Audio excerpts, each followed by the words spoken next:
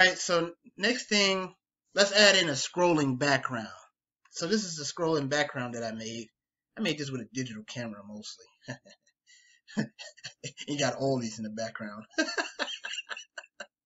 I, I, couldn't help. Aldi's is one of my favorite stores, so I just had to include it here. So we got this background here.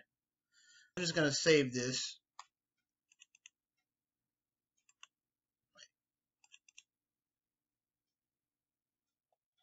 Okay, so now we're going to just go down to the background section and just change out the background.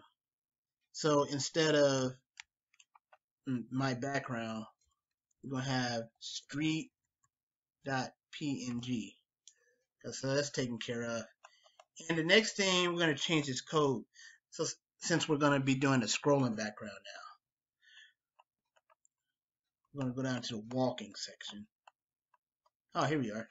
So, so I'm just going to put some space between here. And then I'm just going to paste in this part. So this essentially says Henry's going to walk, but once he gets to the uh, 300 coordinate, that's when the background will start scrolling.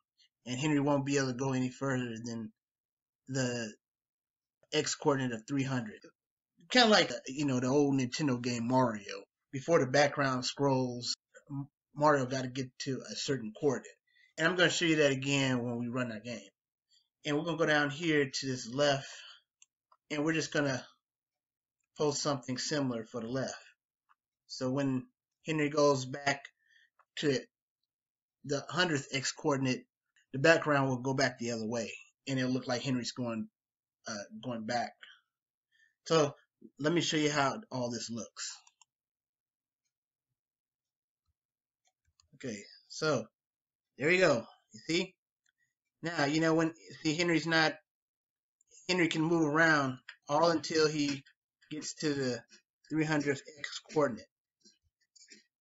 And the same thing is true when Henry gets to the 100th x coordinate. He goes back. So that's what we want.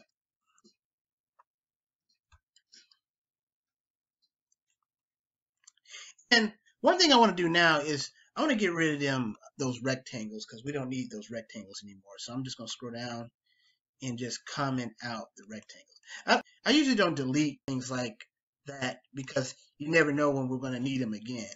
So I usually just comment out those little helper rectangles. So let's play this again. See? Wow. See? So now it's looking more like a game now.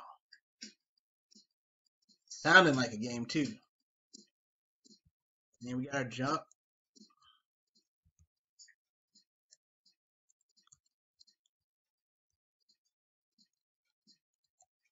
Okay, so that's what we needed.